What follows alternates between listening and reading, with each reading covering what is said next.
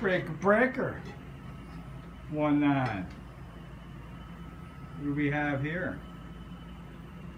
Well, we have the salt water capacitor. Got some oil. Got a top rod. What do you think is going to happen when I fire this son bitch up? So basically this whole top is acting like a top load. Alright, well, soaking wet, 98 degrees. Don't know if I want to be near this thing, but let's give it a let's give it a test run. Plus over here, got my let's lower that a little bit. That's my bottom of my secondary going into my 3, 6, 9, 10, 11, 12 nanofarads to the ground. So we're building up uh, capacitance from the ground up to the bottom of the secondary. And then over here at the primary part, we got another 12 nanofarads. So we're balancing out the, the capacitance, which uh, I believe we're talking about impedance from the ground. Let's uh, Vamos.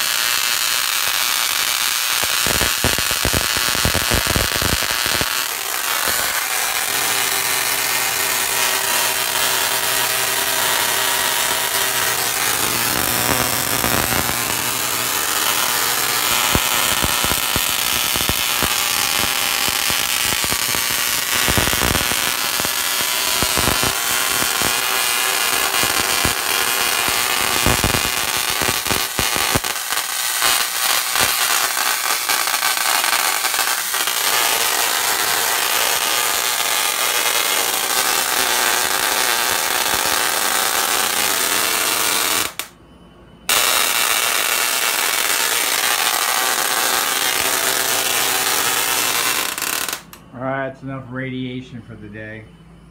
It's uh, water top load. Leave your comments.